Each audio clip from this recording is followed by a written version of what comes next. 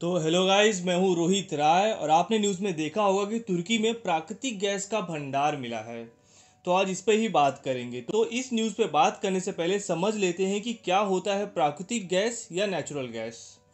तो साइंस के अनुसार करोड़ों साल पहले आए बड़े भूकंप के कारण कई जीव और पेड़ पौधे धरती में धस गए थे और उन्हीं पेड़ और जीव के कई साल से सड़ने और गलने से धरती के नीचे तेल और गैस बन गए।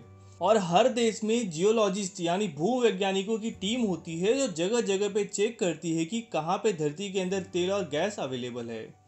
और वो टेक्नोलॉजी के मदद से ये भी पता लगा लेते हैं कि कहाँ पे तेल या गैस है और कितनी मात्रा में अवेलेबल है। और इस पूरे प्रोसेस में काफ़ी वक्त और पैसा लगता है। इसीलिए काफ़ी सालों की रिसर्च के बाद जब जियोलॉजिस्ट को पूरी तरीके से यकीन हो जाता है ज़मीन के नीचे गैस और ऑयल अवेलेबल होने की, तभी वहाँ खुदाई स्टार्ट की जाती है। तो अब बात करते हैं तुर्की में मिले प्राकृतिक गैस के भंडार के बारे में। ये देखिए, ये है मैप और यहाँ है तुर्की और ये है ब्लैक सी और ये ब्लैक सी डिवाइडेड है।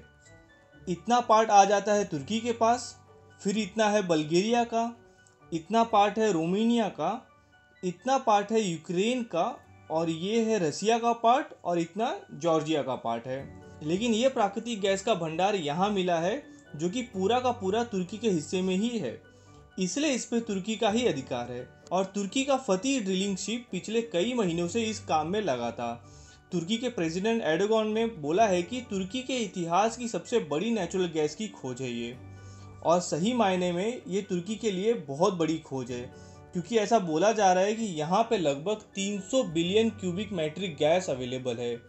अब ये गैस कितना है, इसका अंदाज़ा आप ऐसे लगा सकते हो, हमारा भारत 130 करोड़ की आबादी वाला देश है। तो हमने 2017-18 में लगभग 20 मिलियन क्यूबिक मीटर की गैस इंपोर्ट किया था। तो तुर्की को इतना गैस मिल गया है कि वो भारत जैसे बड़ी आबादी वाले देश को 16 साल तक नेचुरल गैस एक्सपोर्ट कर सकता है।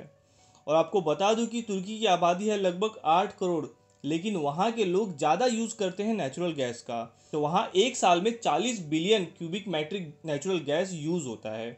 इसके हिसाब से भी सात आठ साल तुर्की को और कहीं से कोई नेचुरल गैस इंपोर्ट करने की ज़रूरत नहीं पड़ेगी। और तुर्की के प्रेसिडेंट एडोगन का बोलना है कि ये गैस तुर्की के लोगों के यूज़ में लाने में 2023 तक का समय लगेगा। तो अभी भी तीन साल तक तुर्की इंपोर्ट करता रहेगा नेचुरल गैस रशिया और अजरबैजान से। और रशिया और अजरबैजान के लिए बैड न्यूज़ है क्योंकि अब आने वाले सात आठ साल तक तुर्की उनके यहाँ से उतनी मात्रा में नेचुरल गैस नहीं इंपोर्ट करेगा जितनी पहला किया करता था। और तुर्की अब अपने ब्लैक सी के बाकी हिस्से में सर्च बढ़ा देगा नेचुरल गैस की खोज में, क्योंकि जब से तुर्की आज़ाद हुआ है, तब से उसने ज़्यादा ध्यान नहीं दिया था नेचुरल गैस के रिसर्च पे। लेकिन अब इतनी बड़ी मात्रा में नेचुरल गैस पाए जाने पे, अब वो और भी बाकी जगहों पे जो है ब्लैक सी के खोज बढ़ा देगा। तो आई होप आपको ये टॉपिक पूरा समझ में आ गया होगा। तो अभी के लिए इतना ही। आपसे लेता हूँ विदा। धन्यवाद।